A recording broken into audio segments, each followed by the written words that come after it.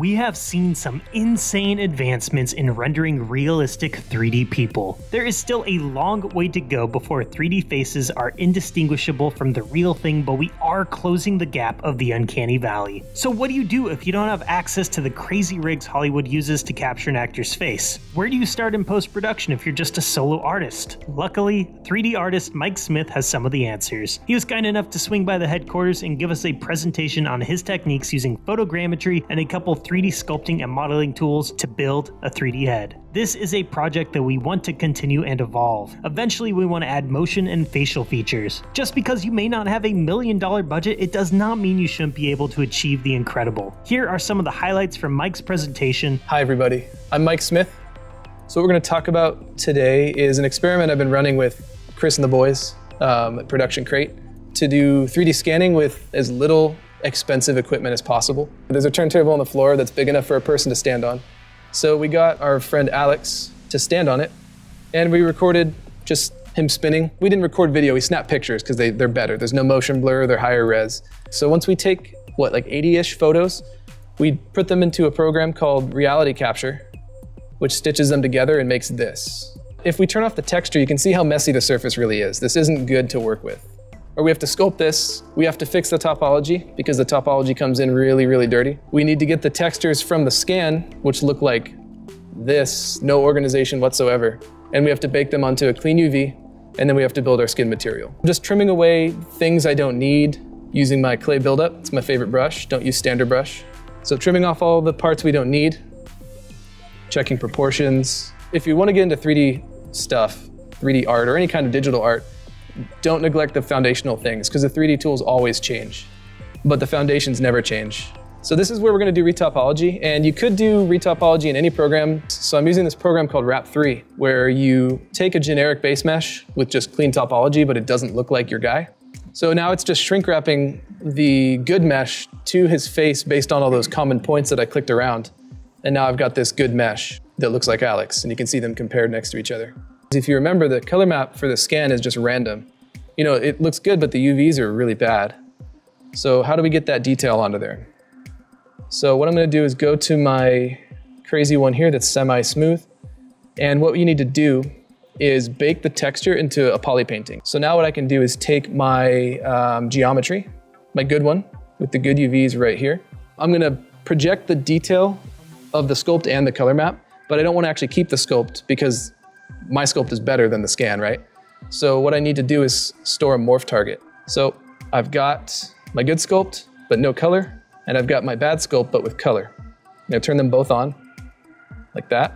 And as long as they're both visible, the one that I have selected is gonna be the one receiving the detail. So I'm gonna go down to project in the subtool palette and go project all. There we go. If I turn off my bad sculpt, I can see that my good sculpt did a pretty good job. So now it kind of messed up my sculpt. So what I have to do is go to my morph target right here, and I'll increase the morph until it goes back to my sculpt, but it keeps the color. And then I can delete the morph target. So that's how I got his texture map. Now let's talk about how we get the ultra fine detail. Um, there's a few different ways you could do this. You could just get skin packs, skin alphas from online. You can go into ZBrush's alphas. They have some pretty good ones. And I'm gonna show you a few different ways. And we're also gonna use something called Surface Mimic, First, if you just want to sculpt these directly, so I've got a few skin packs. I'll start with one of ZBrush's built-in ones. So as I cut in, I can paint directionally and give him directional wrinkles, or I can go in a circle and do that skin microsurface.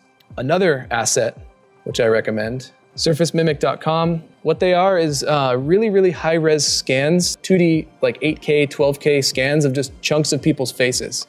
You get a flattened UV map of someone's face, basically. Uh, and you might think, okay, that's cool, but obviously the UVs don't match my UVs, so how do we get that on the model?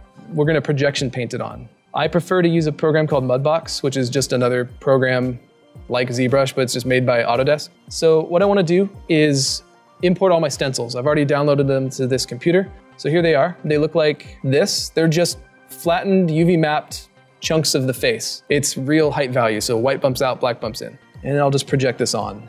And it's just projecting onto an 8K texture map 8K UV map. So once you've got your map, you just come over here, right click on the diffuse channel and you can export the merged channels. And what you end up with is, there we go.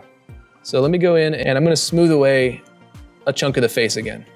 and we'll use my map to fix it. You wanna import it into alpha, right here. I've got my alpha in the alpha palette as if I was gonna start sculpting, whoops, like it's a brush. But as long as it's loaded here in this alpha palette on your brush, I can come down here to masking. So I've got my inflate brush, turn the intensity way down. And as I sculpt, if I go a little heavy handed so you can see it, you can see it's bringing out based on that super high res map. So now the height from that mudbox, mudbox texture is combined with my hand sculpted wrinkles and the creases. It's all in there in the height information of the face. When you're building a skin material, human skin, it's more important to get height information first, get that right, then get the specular contribution and the subsurface scattering, and then color just goes on at the end. It almost doesn't matter because your map is right. You baked it from a photo. Uh, let's go ahead and render this, see if we get some better results. All right, uh, last step is to just plug in the color map into the subsurface. Source images, head color. And there we go. There's Aleks's skin. But little, little details that'll help you just push your realism a little bit farther is peach fuzz. So if I turn on this, you can see there's actually a lot of hair there. I just turned it black so you could see it. And then another thing obviously is the eyes, getting them down is very important. So this is physically as anatomically accurate as possible. One last time what the finished product looks like. Cool, so there's the finished product. That was the most information I've ever packed into however long. Thank you.